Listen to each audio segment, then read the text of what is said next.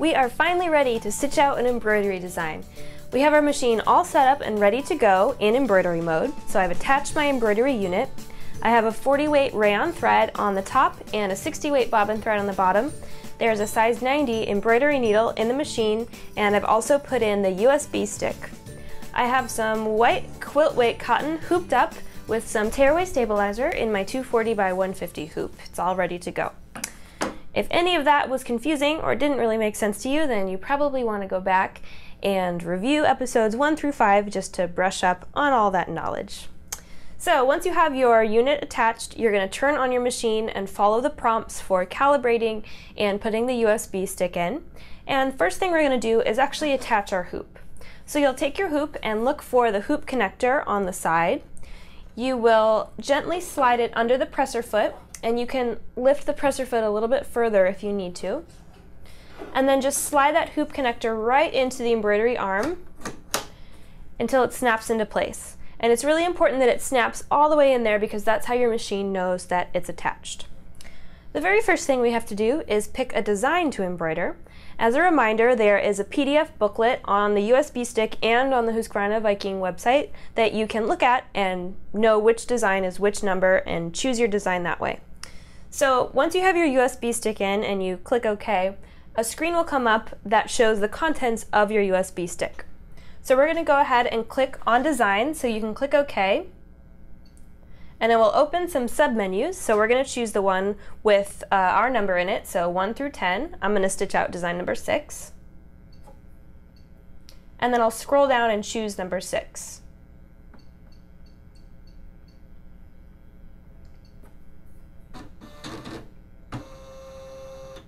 The hoop is going to move around a little bit and then a new screen opens. This is the embroidery stitch out screen. So this opens first when you load a design.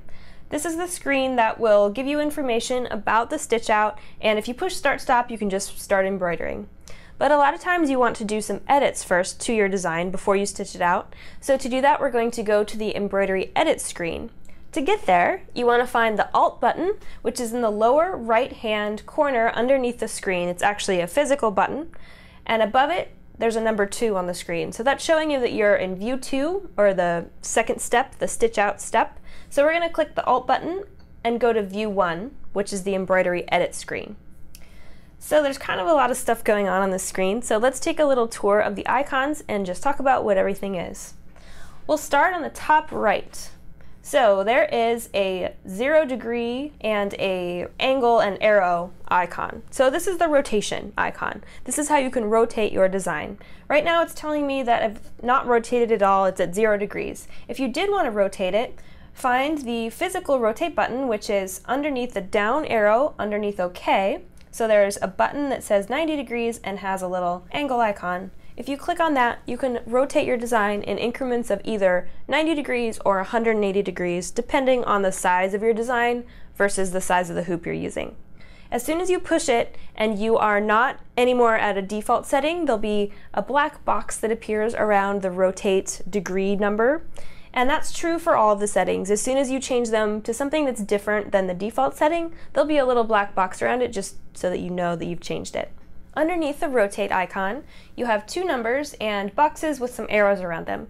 This is showing you design position. So if you wanted to physically move the design around within the hoop, this is how you would do it. You can click the right and left and the up and down arrows around the OK button, and that will let you move the design from side to side or up and down. This is also limited by the size of the design versus the size of the hoop, because again, if you have a design that's almost to the edge of the hoop, you can only move it a little bit until it's off the edge of the hoop and then unstitchable, so your machine won't let you do that. So this is how you can move your design around within the hoop. If you ever move the design and you want it to get centered again, you want to put it back to the middle, you can just click the OK and it will take both of those numbers back to zero. Below that, along the bottom of the screen, we have our design height and our design width. So these are two separate numbers. You can adjust the height and width of the design independently in 5% increments up to 20%. So if I click up on the 151, the first number, that's going to make my design taller. And again, the black box appears if you are at a non-default setting. Important to keep in mind that if you want to change your design proportionately, make sure you adjust both numbers the same way. For instance, if I go two clicks down on the height, I would also want to go two clicks down on the width. This is again something that could be limited by design size versus hoop size. So if your design is already almost filling the hoop, you probably can't go all the way 20% bigger because then it would be outside the hoop. So if for some reason the number's not changing when you're clicking it, that's probably why. On the left-hand side of the screen at the bottom, there is a series of bars. This is showing you the speed that your machine is going to stitch at. There are speed plus or minus buttons above the start-stop button, so that's how you would adjust the speed. And then above the speed, we have our embroidery preview. So this is showing you your design, where and how big it's going to be in the hoop. A few other buttons for embroidery edit to talk about. There is a mirror button for mirroring top to bottom and also left to right. It's the buttons to either side of the 90 degree physical button underneath the OK arrows. Alrighty, so let's say you're all satisfied with your embroidery design edits and you're ready to go to the stitch out screen. We're going to click the Alt button to go back to screen number two. So some of the icons changed, so let's talk about the new ones. We're going to start at the right hand side. There's a hoop icon and you'll see it says 240 by 150. That's the hoop size. If you click on the hoop button, which is all the way almost to the right hand side of the machine on the top, a new menu will open. The first option says hoop size. So right now it says 240 by 150, the size that the machine selected based on the design that I chose. If we click OK, a list will open up these are all of the sizes of hoops that are compatible with the designer jade. Depending on the size of your embroidery design, some or all of the other sizes might be grayed out and unselectable. That's because the machine edits out the hoops that are too small to fit your design. So in my case, my design is kind of big, so 240 by 150 is my only option. So I'll click the left arrow to go back one menu jump. And this menu, which was the menu that opened when we pushed the hoop button, shows you a few different options for moving your hoop around. And this can help you with different embroidery functions. For instance, if you're embroidering an applique design and you have to trim the fabric, the applique fabric once it's stitched down, that can be a little bit tricky when the fabric's right under the needle. So if you open this menu and go down to trim position, it'll move the hoop forward and just give you more space to trim the fabric. So I'm going to click the hoop again to close this menu and we'll go back to our tour. So the next number is the total number of stitches left in the design. So before you start stitching, this is the total stitches in the design. And then once you start embroidering, this will count down until it gets to zero when your embroidery is finished. Below that number, we have some information about thread. The first set of numbers shows you the current thread color that the machine is on. The second number in the parentheses shows you the total number of colors in the design. The numbers below that, the first number shows the current stitch in the current thread color, and the second number shows you the total number of stitches in the current thread color. The, bottom row of numbers and icons is the same on this screen as it was on the previous screen, as is the embroidery preview. A couple other buttons to know about. The first one, let's say you've decided that you want to load a different design instead of the one you've chosen.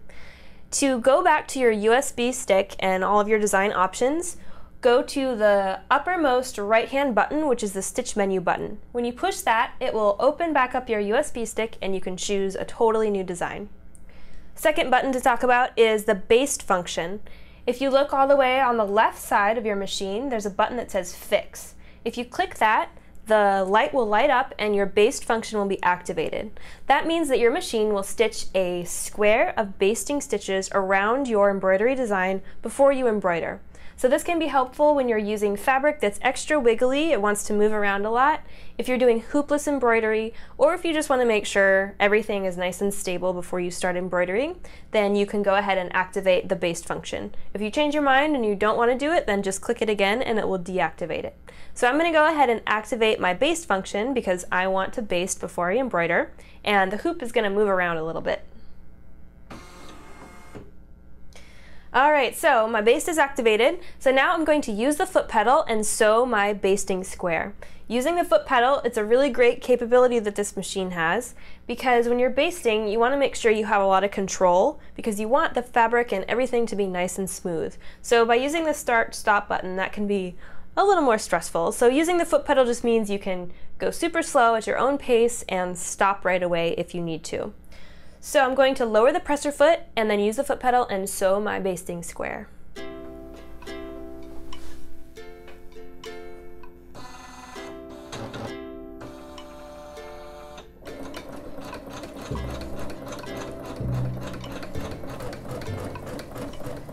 Once your basting stitches are all sewn, your machine will cut the threads and then it'll move to the first stitch of your embroidery design. So now all you have to do is push the start stop button, follow any prompts on the screen for changing your thread color or trimming threads, and then basically just let the machine do its magic.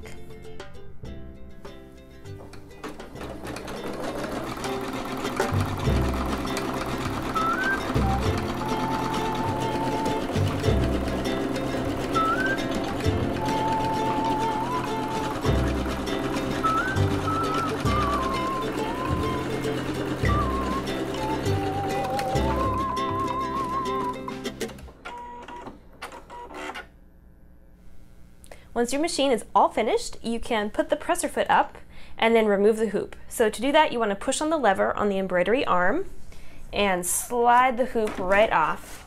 And there is your beautiful finished embroidery. So you can go ahead then and take out the basting stitches and take your project out of the hoop and cut away any stabilizer and admire it proudly. I hope you've enjoyed this video series and you feel like you learned something, and hopefully you're a little bit less intimidated about the world of embroidery. Make sure you check out husqvarnaviking.com for the latest in projects, inspiration, and updates. It's also where you can download some complimentary software that will let you view embroidery files on your PC, make some edits to them, and also give you QuickFont, which is a really awesome application that can turn any font on your computer into an embroidery font. So thanks again for watching and happy embroidering!